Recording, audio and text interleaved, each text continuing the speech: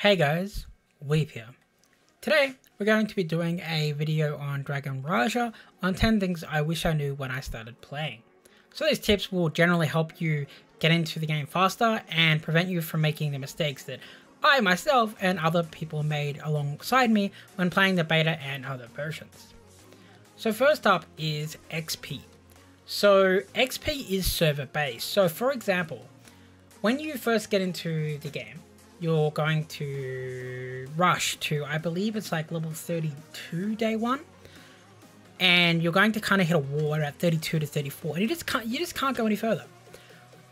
But if you're say day three and you're up to level 50 and then somebody else logs in, they're going to have all this extra XP. And when they do one day, they're going to go from level 1 to like level 47 to only be a couple levels ahead of you who have played all three days. So the XP catch-up mechanic on this game is actually quite insane, and it allows you to play multiple characters and level them up simultaneously by using the XP bonus, and you'll only be a couple levels behind other people, so it really isn't that much of a difference anyway. You can change class in-game, which will change cost up to a million gold, I believe, at the final transfer, but I prefer playing different characters to do different things anyway. So if that's your way, the XP on the service is very forgiving and something that you can work on to keep going. Okay, so next up, let's talk about clubs. So clubs contain a lot in Dragon Raja and they are very, very important. As you can see here, we have some of today's events and the member count right here is 160, I believe. The max is like 250. We have the report card, we have the auction, we have crews, which shows you the people. We have buildings that you need to upgrade, so you need people to be active. We have bonus like salary and stuff that you can give up to other people. And down here, we have all the events that are available. A lot of these events can take your entire guild, and you have to do many different things. And like, for example, completing one event and you get a rare item, this rare item will be sold to the guild or to the world, and that money is split up and give to everybody who participated in doing it. You also get XP and stuff from doing these events, and currency and buffs and other things for the guild. So it's very highly recommended that you join a guild that you can actually play with and not just a silent guild where nobody talks. If you're the kind of person that just joins groups and doesn't talk and doesn't really participate in group content, this game honestly may not be for you because it's more of a requirement to be social in Dragon Raja than a suggested like many other games. Many of these events don't really require stats or gear, so don't worry if you're a little underleveled and play multiple characters multiple servers, you're still an asset to your guild for activities. Okay, next up is allies. There's a lot of stuff in here, but we're mainly going to talk about recruitment and bounty. So if you go into the recruitment section, it's a bit like a gacha game, where sometimes you get free draws so when the draws come up on timers, make sure that you're getting your allies. You want to get as many allies as possible because it unlocks the ability to do missions and your allies also give you permanent stat boosts. So it's really important that you actively do them. I just got a 5 star Eva right there, which is really cool. So make sure you're doing the recruitment as much as you can. And then when you're done the recruitment, go to the bounty, which is basically send away your missions. Like for example, you click on your three allies and you send them away and you can do 12 of these a day for really good rewards, so make sure that you're actually doing them. Okay, so buffs. So this, a lot of people didn't seem to get. So if you open up your menu by clicking on your character and go down into here in the buffs, you'll see these little things down here.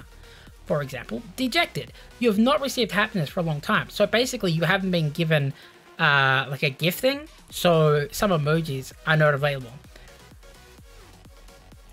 Ravenous, you have not eaten or drank for too long, you cannot dash while you're ravenous. So you literally can't dash because you haven't eaten or drunken lately. Okay, so up here we have Frigid. The cold weather causes you to shiver. You receive an increased damage by 8%, and speed is increased by 8%. So I'm actually taking 8% more damage because I haven't eaten or I haven't eaten anything to uh, warm me up or use a buff on myself. So basically, if you're in a dungeon with cold, you're taking 8% more damage. So and these effects are quite wide and varied. For example, if you're in bad weather when you're gathering for your profession, you could get less materials. But if you buff up correctly and, you know, cut it all back, then you would get more, and then you would have more vitality to level up faster and get better dishes. So it's important to keep an eye on your buffs because sometimes they can really work against you, and it, the game doesn't exactly throw them at you and tell you like, hey, you've got this debuff, so keep an eye on them. Okay, open world PvP. So, open world PvP does exist. Uh, people can go around and attack you in most zones. Some zones are considered safe. How it works is people will attack you and they will kill you. And when they do, you don't lose anything, you just respawn. But when they do this, they get like negative karma. And if they do this too often, or if they attack in special areas, they get a lot of negative karma. And when they keep attacking people, their karma keeps going up. And when their negative karma goes up so high, people get a bounty to go and kill them. And from what I read is that if your bounty is too high and you've killed too many people, when people get a bounty sent out to kill you and somebody does kill you, you will drop your items. And I believe somewhere it said that you could also drop your weapon. So you could actively lose your stuff if you run around a PvP too much.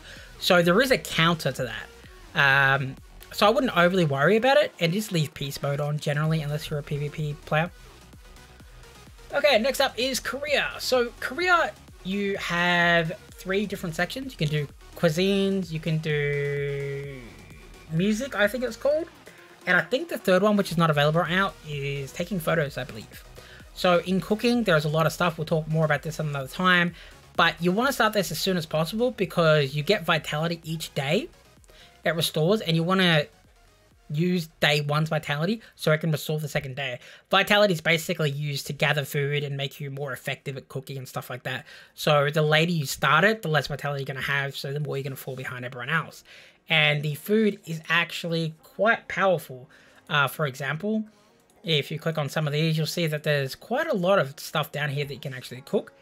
You can use your stamina, which is different from vitality, and you got stamina over here.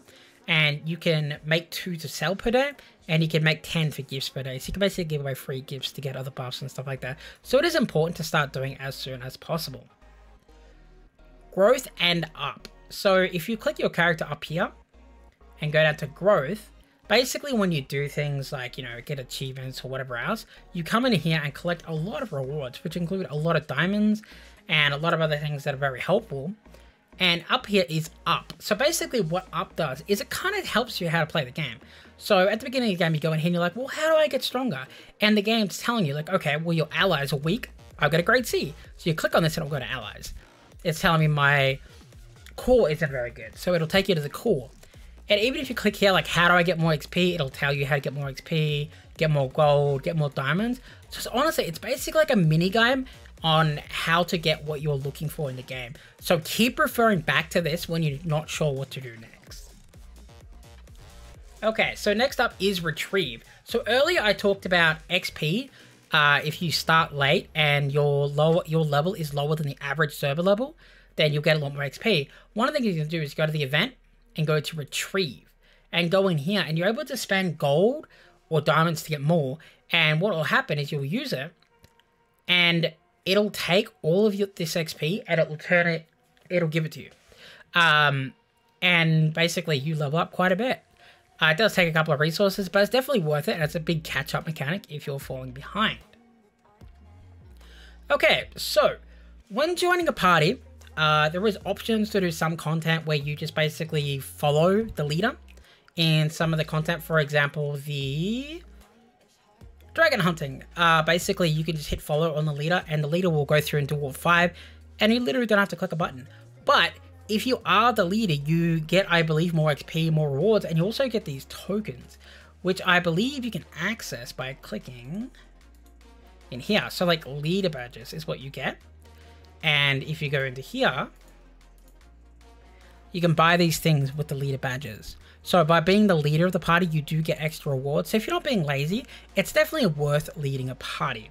You can also get assist points and buy this stuff up here, which as you can see, more maximum HP and stuff like that for basically doing content with lower players. It'll scale you down, but you'll get extra rewards for doing it. It'll take a while, but you know, it's extra buffs that you can eventually get. Okay, so number 10 would be events. Uh, events are basically activities that you do throughout each day, and there are quite a lot of them to do. There are two main things to keep in mind. First up would be activity. So when you do these activities, you get activity points, and these activity points count towards the bar at the bottom and fill it up to get your rewards. It's basically making you a slave to dailies to get rewards. The next thing that you're going to want to pay attention to is solo XP today. So basically, there's a maximum amount of solo XP that you can actually obtain. So anything with a golden star on it counts towards that solo XP bar. So if that XP bar is full and you do something like Devil Wake, for example, you already have all your solo XP, so you don't actually get any more XP. If you do something like a profession and get a lot of solo XP and fill it up, it can be quite demoralizing and not wanting to do stuff like Devil Like Wake. So just be aware of how quickly your solo XP is filling up. You'll notice other events like Nightwalker do not have a star on them. That means you can do them and still obtain XP because it's not considered solo XP. There's still a lot of stuff that's not considered solo XP, but it's something you really need to pay attention to because I personally wasted a lot of XP on this.